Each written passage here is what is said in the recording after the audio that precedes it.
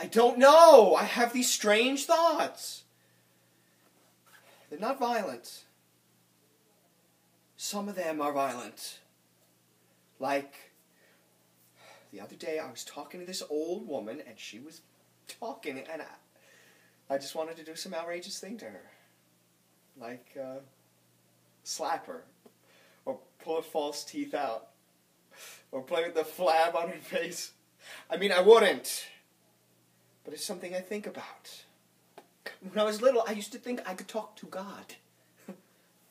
In fact, I thought I could talk to God better than anybody in the world. And I, I just didn't understand why world leaders didn't come to me to pray to God to solve the world's problems. I just sit there in church with my family and my mother.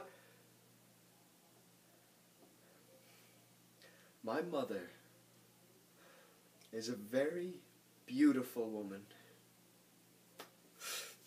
She looks like Italian women on jars of spaghetti sauce.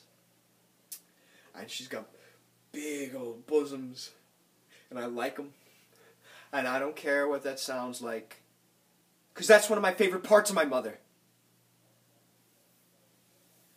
And uh, I remember when my father died, it, um, she showed great dignity. She, she took my hand and she said, You go take care of your sister now.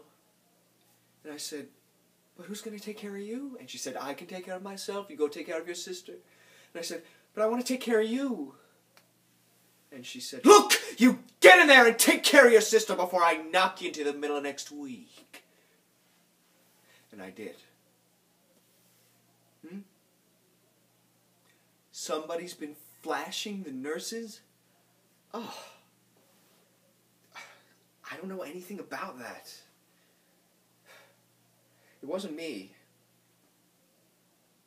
It wasn't me.